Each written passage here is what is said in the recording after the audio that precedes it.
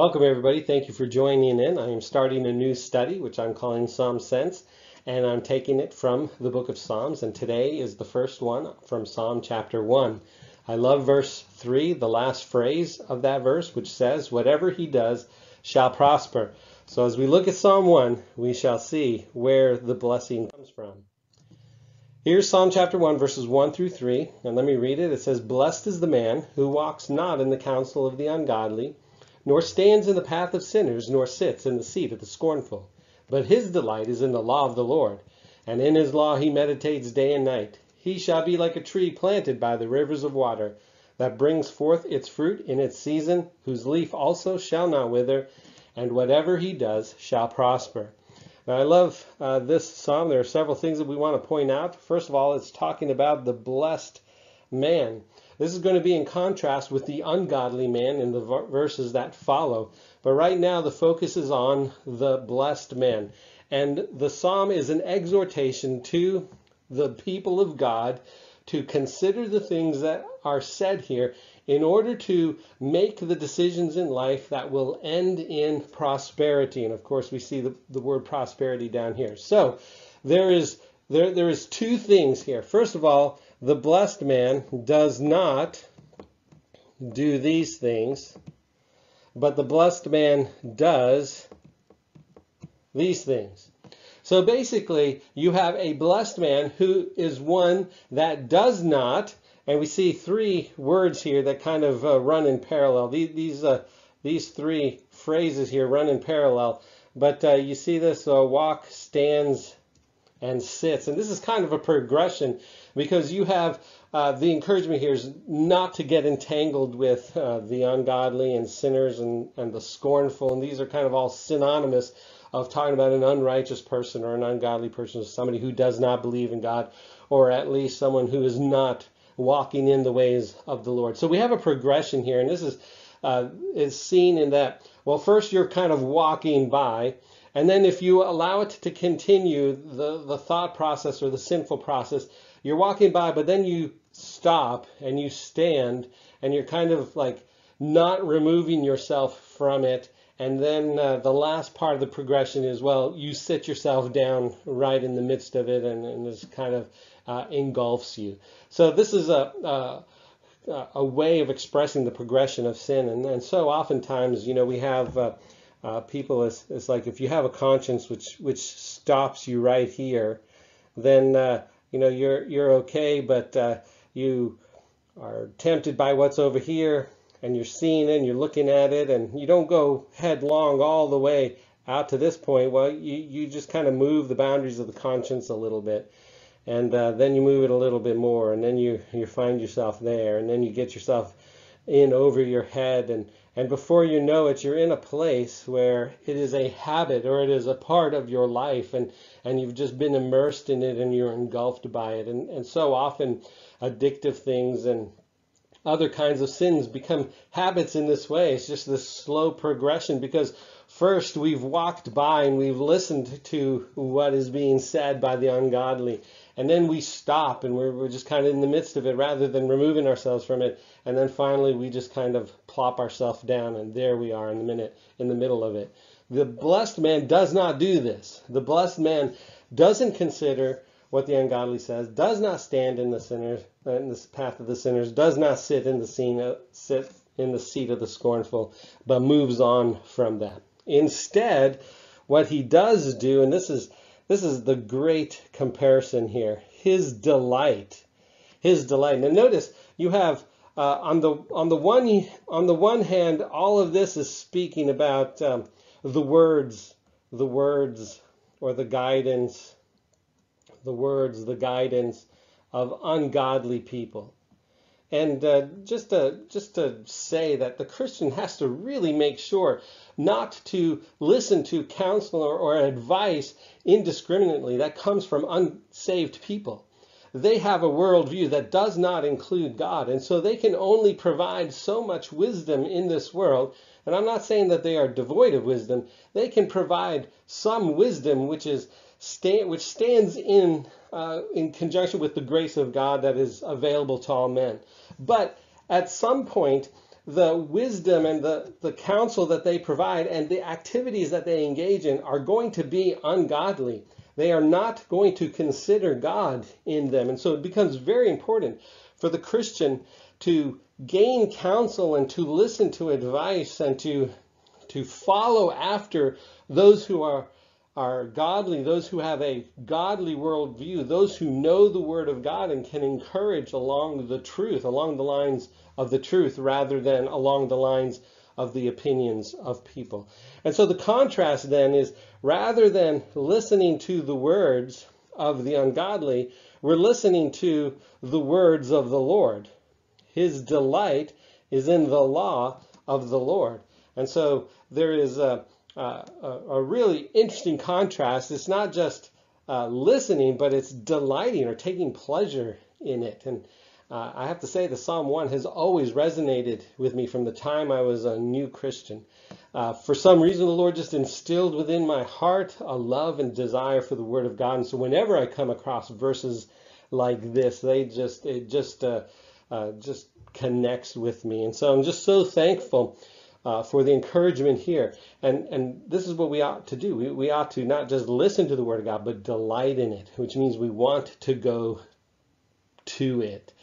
And so it says, if you delight in it, then you are going to meditate, meditate in it day and night. And, and this, this word meditate is really an interesting word. It means like to growl or to mutter. It's, it's like the, uh, you know, rather than a bark or or, or a meow, which is just a, a one-time, you know, bursting forth the sound. This is the the growl is which is ongoing, and and the sound just continues to flow out of the mouth. And to mutter is just to kind of keep talking to yourself under your breath and you know you go on and on and on and on and on on it goes and so this is what it means to meditate day and night it's like you're you're muttering or or growling or thinking meditating uh, having the word of god in your mind and on your mouth and and in your throat and in, uh, coming out of your lungs is just there all of the time and so this is where the godly person is delighting in the Word of God and meditating or muttering it or, or growling it day and night.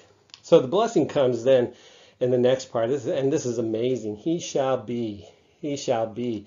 The person, the, the man who delights in the law of the Lord is going to be like, is going to be like this, a tree planted by the rivers of water. So this is a picture, this is an image here. You want to know what a godly man is going to be like, well, he's going to be like that tree over there that's flourishing, that's by the river, has plenty of water. He, it's full of fruit. Here it says, brings forth its fruit in its season. It is full of fruit.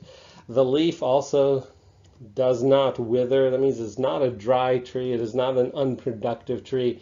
The godly man who delights in the law of the Lord and stays away from the counsel of the ungodly, he's going to be like that tree.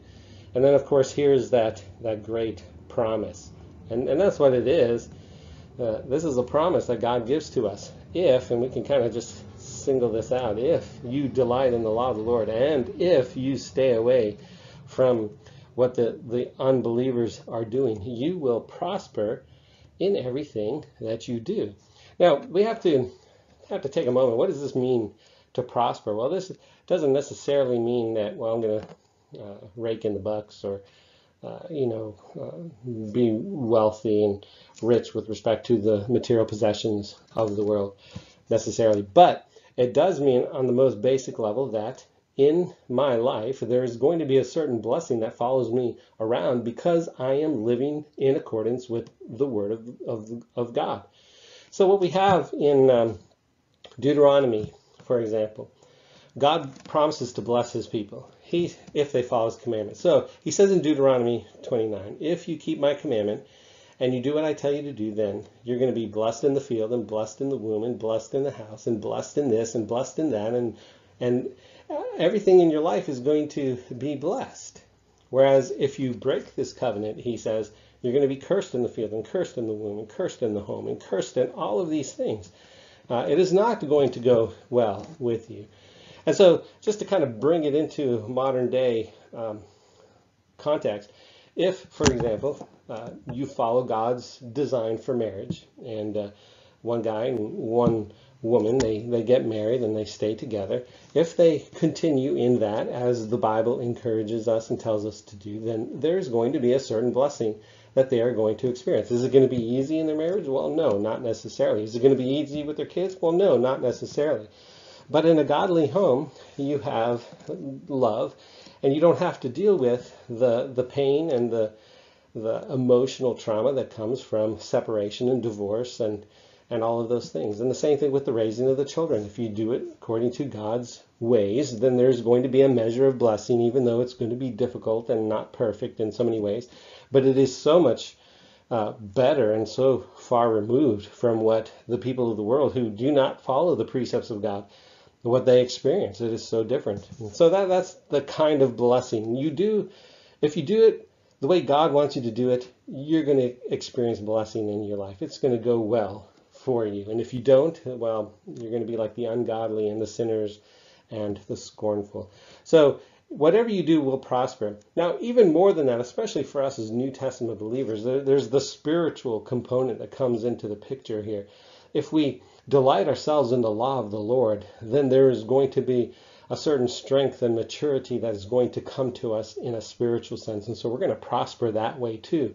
Our faith will grow, our joy will grow, our peace will grow, all the things that we need in life uh, from a spiritual perspective will be given to us. There will be opportunities for service and joy that comes from seeing people blessed and glorifying God and, and all of those things. And then, of course, there is the hope of eternal life, which we have as uh, as believers in Christ. And so that'll carry us through this day until we go to be with Him forever. So we shall prosper spiritually uh, as well, and even probably more importantly than anything else that might happen in this world. So those are those are the verses one through three. Now let's go to the next part. This is uh, talking about the ungodly. So we make a transition here. Uh, we transition from the blessed to the ungodly. Now the ungodly are not. They are not like. They are not like the the blessed man. So the blessed man is like a tree planted by the rivers of water, whereas the ungodly is like the chaff which the wind drives away.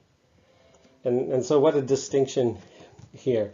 Uh, the godly man has a certain permanence or a certain stability about him, whereas the ungodly man is just blown by the wind and taken away with no permanence, no fruit, no no prosperity, nothing, just gone, blown away. And so, so we have this uh, further uh, description here. The ungodly shall not stand, shall not stand in judgment. So there's coming a day, and we all know this, when God will judge the works of men. And so sinners will be judged. And in that day of judgment, the ungodly will not stand. They have no hope of escape from the judgment of God. Whereas the righteous, on the other hand, they're not like the ungodly we have been forgiven. Sorry, we have been forgiven in Jesus Christ. And so when the judgment comes, then there is a certain uh, blessing that we will experience in that we will not be carried away with the judgment of God. We will be received into his presence and we will be blessed because of our relationship to Jesus Christ. And then says the ungodly or sinners here, it's, using the word sinners, they shall not stand, they shall not stand in the congregation of the righteous. Um, this is another blessing that we, as the people of God, experience. And this is the ability or the calling to come together and to assemble in the name of God in order to worship Him and to fellowship with one another. We have that as believers, but the ungodly don't have that. And so this is a blessing of the righteous. And then there's one final contrast in the last verse, verse 6 here the Lord knows the way of the righteous. And so there's a certain knowledge and a certain intimacy there that we experience because we have a relationship with the Lord. But the ungodly, they shall instead die. So life is found in the Lord and in knowing Him, but death is found for those who do not know Him. And so there are, so having looked at all the verses now, there are some things that we can look at as to the prosperity blessings. What are the prosperity blessings that we experience as believers. So from this psalm, we see several things. First of all, we are fixed and secure. We are like that tree planted, planted, fixed, firm, unmovable there by the rivers of water. So the believer has a certain stability about him. There's a certain prosperity that comes in being fixed and sure and secure rather than being blown around. So we have that if we delight ourselves in the law of the Lord. Second, we will be nourished. So here's this tree that's planted by the rivers of water, which provides for it the nourishment that it needs in order to grow and to thrive. And so we too, as believers, delighting in the law of the Lord, we will be nourished. We'll be nourished spiritually. We will be blessed physically. And so this this will really add to our lives and and uh, really be a blessing. Uh, we can turn to God and give praise to Him for all of the blessings that He gives to us. Number three will be fruitful. Uh, this is a big deal. If you look in uh, the New Testament, uh, the fact that we ought to produce fruit. Uh, Galatians chapter 5 talks about the fruit of the Spirit, and all through the New Testament, really, it talks about how our fruit, uh, there, there ought to be fruit in the life of the believer. And so, as believers delighting in the word of the Lord, we will be fruitful in our lives, producing those things that are pleasing to God. Number four, we will escape judgment. So we saw that here in verse 5. The ungodly won't stand in the judgment, but of course the, the godly will. We will stand. We don't have to fear the judgment. And then number five, there's a place in God's assembly. Let me just uh, put a plug in here how important church is.